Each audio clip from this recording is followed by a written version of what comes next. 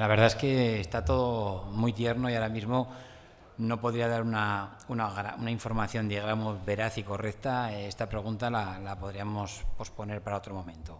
Bueno, de momento yo me comprometí para, de manera profesional, a, presidir el Real Zaragoza durante una, una temporada.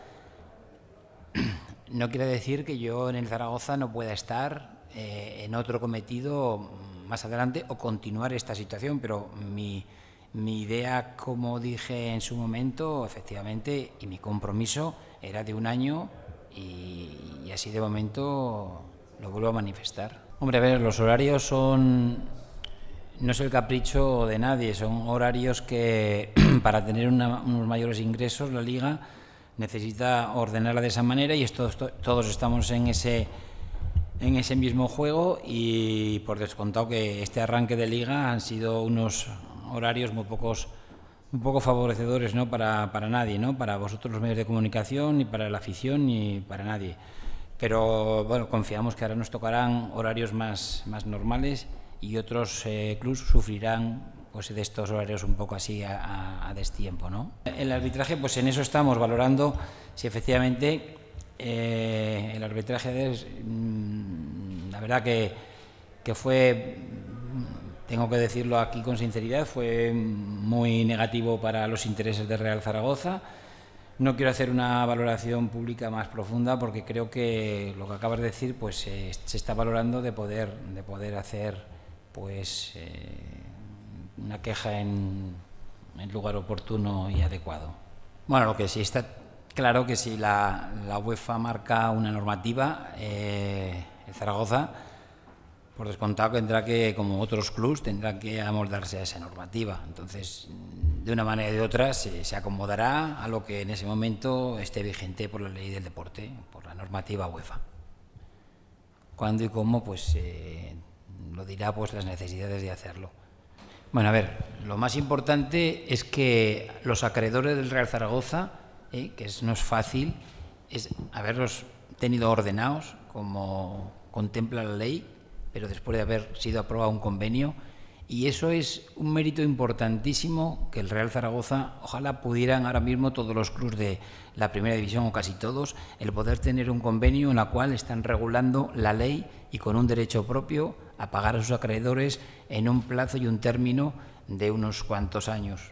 Entonces, desde ahí lo que tenemos que ver es eh, la iniciativa de un Real Zaragoza y sobre todo la situación de cómo ha sido y cómo lo han valorado los jueces de que efectivamente y sus acreedores han dado como bueno por la propuesta de pago y ese convenio que el Zaragoza ha presentado. ¿Qué van a hacer otros clubs?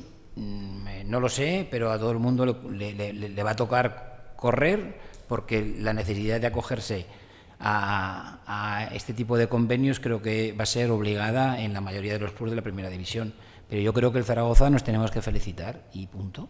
Pues la de, la de presidente ejecutivo como su nombramiento y su cargo ocupa y, dice. Eh, otra cosa es que haya una propiedad como la hay en otros clubs. Otro club está dividida en max acciones. Por ejemplo, ahí vengo un club con un perfil que hay cuatro o cinco eh, accionistas de referencia y ellos por descontado pues tienen que consensuar y, reunirse y hablar y es mucho más complicado. Aquí creo que tenemos la suerte, lo vuelvo a repetir, de que la propiedad está en manos de una persona zaragocista, vocacional, eh, sacrificado y que lo tenemos a mano en el momento que lo necesitamos. A mí, por descontado, mi trabajo lo hago todos los días con una libertad total porque así quedamos y en su momento y estar respetando por descontado al pie de la letra todo lo que el señor Agapito y Fernando Molinos pactaron en el momento de comprometerme con mi llegada al Real Zaragoza. Yo no soy quien para recomendarle a Agapito nada porque es una persona que ya tiene, creo, mucho recorrido en la vida y muchas situaciones eh, que las, las, las sabe él solventar.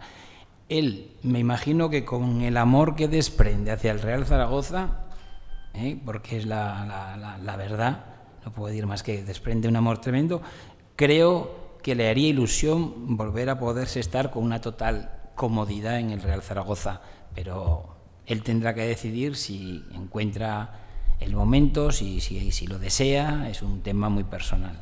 Sí, yo soy consciente de que efectivamente se han pedido disculpas porque las hemos comentado y las hemos tratado. No me digas dónde, pero sí que, que el presidente de Granada ha hecho un acto de contrición pidiendo disculpas y que se había pasado tres pueblos en, en, comentar aquellos comentarios que no venían a, que no procedían vamos. Bueno es un tema meramente técnico y, bueno aquí hemos tenido a Cuartero que nos podrías responder mejor porque es el que día a día pues eh, cambia impresiones con el entrenador pero bueno de momento no está previsto la, incorporación de nadie de momento eh, no, no, no, puedo decir que sea 100% cierto porque no sabes en el mundo del fútbol lo que puede ocurrir de un día para otro. Pero de momento, vuelvo a repetir, no hay ninguna inquietud y, el equipo está funcionando y está tranquilo y vamos a dejar que siga funcionando bien. La verdad es que no, no tenemos pensados, eh, no, no, no está a la venta la plantilla del Real Zaragoza. Otra cosa es que venga un equipo con un interés en particular y con un jugador en particular que a lo mejor pues no sea preciso o necesario. No te podría decir porque igual dices, mira, pues dijo que no, pero en este momento para nada se ha pensado en desprendernos de ningún jugador.